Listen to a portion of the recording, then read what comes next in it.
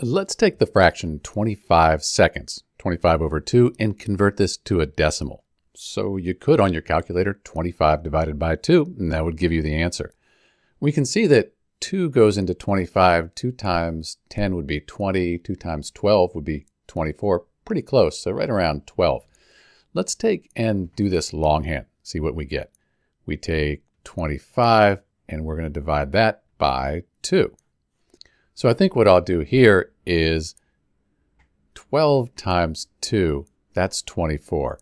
And when I do that, I subtract and I get 1. 2 doesn't go into 1, but if I put a decimal point here, call this 10. Now 5 times 2, that's 10. Subtract and no remainder. So in answer to our question, the fraction 25 seconds, that equals the decimal 12.5, which is pretty close to what we estimated we'd get. This is Dr. B converting 25 seconds, the fraction to a decimal. The answer is 12.5. Thanks for watching.